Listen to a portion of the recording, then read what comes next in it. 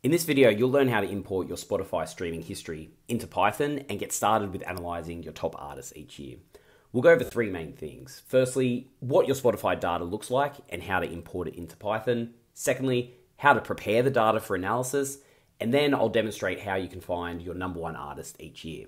Let's jump into it. First, we'll import your Spotify data into Python. If you haven't already requested your data, I have a 30 second video which shows you how to do this. You'll eventually receive an email saying that your data is ready. It'll open up a website and your data will download immediately. A zip file will be downloaded called myspotifydata.zip. Double click this and it will unzip the file and reveal a folder called Spotify Extended Streaming History. Double click this and you'll see all of your JSON files which contain all of your streaming data. If you're not familiar with the JSON file, I'll open one now and show you what it looks like. And essentially, every single song you've ever played and the metadata around that song and the streaming session will be contained within this file. And so the problem for us is how do we get all of these files into one place and get them in a format that allows us to analyze them? First, we'll define where our data actually is by saying what the parent folder is called. Now, for me, it's in my downloads folder slash users slash my name slash downloads and then Spotify extended streaming history. Next, I'm going to define a variable called file name, and I'm just going to name this as any one of the files within the folder.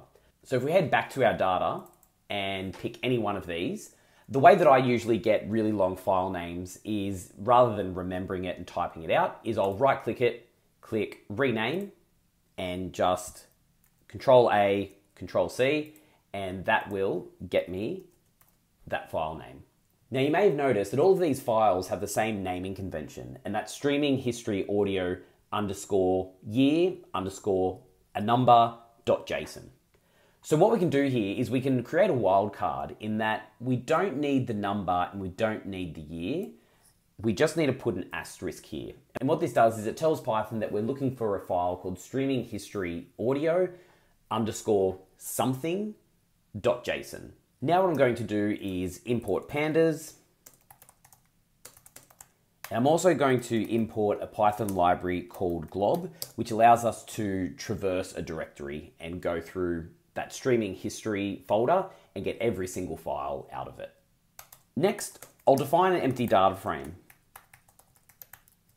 And so as we get each of these JSON files, we're going to convert it into a temporary data frame and add it onto this larger data frame called df. Next, I'll define a for loop, which will get every file in glob.glob, our parent folder. We'll add a slash for the folder and the file name. So this will say for every file which looks like this, that is sitting within this. I'm going to have a temporary data frame which will simply read in the JSON file. And once that's been read in, I'm going to add it onto my larger data frame, which we've called df. So what that does is we're going to use the concat function, which starts with the original data frame, and then we're going to also add on temp. Now, if we run these two cells, I'll print out df.shape, which will tell me how many rows and columns I have, and then I'll also just inspect the data frame as well. So here we can see that I've got 248,000 records and 21 columns, and then this is what my data looks like. So we've successfully imported the data.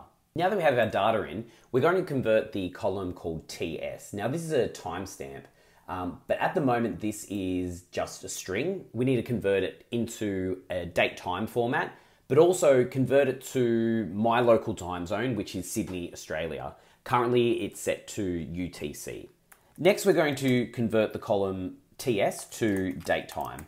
And to do this, we simply say df TS, so that is df and the column timestamp, is equal to pd dot to date time, and then the column name again. And then we need to tell it what format this string is in. Now, I typically just copy and paste that into ChatGPT and ask it what format it's in. And for our use case, the format is this, which is just a, a way of saying, you know, there's a year, then a dash, then a month, and, and so on. And then we say UTC equals true. As I mentioned earlier, all of the timestamps in the Spotify data are set to UTC. So set this to true. Then we'll localize the data. Now for this, we import pytz, which is a Python library that handles time zones. And we first say what our time zone is. So I'm just going to say my tz is equal to pytz dot time zone and it is Australia slash Sydney. Again, if you just Google or ask ChatGPT about the different time zones you can use for PYTZ, you'll be able to find the, the correct one for you. And then we do the actual converting of the time zone. And so for that, we just say DFTS is equal to DFTS dot DT dot TZ underscore convert. And then in brackets, you tell it what your time zone is. And now that's done, we're just going to sort our data. And to do that, we say df.sort values. And how are we going to do it? Well, we're going to do it by the column ts and we want that to be in place. So that means it's going to run this and it's going to save it to the data frame.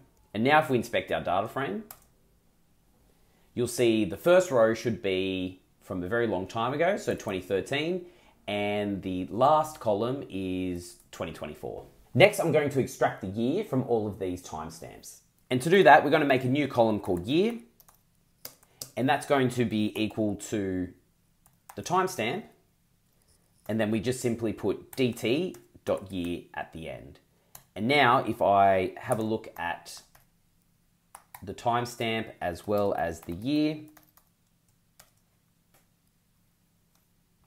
we'll see here that this one, the year is 2013, and this one, the year is 2024. So now we're set up to be able to have a look at all the data per year and work out what was the number one artist played in that year. Next, we'll have a look at who was the most played artist in 2024. Now, to do that, we're going to group our data by our new column year, and then we're going to get the artist column. So to do that, I'm going to get my data frame and filter it such that the year is equal to 2024. And then I'm going to group that data by the artist column. And in the Spotify data, this is called master metadata album artist name. So I'm going to group by the artist and then we need to count something. So I use that same column and we're going to do a count. And so we can see here we've got a count. It looks like it's in alphabetical order, but we want to have it in the count order. So we can just do sort values and we want ascending to be false, i.e., we want it to be descending.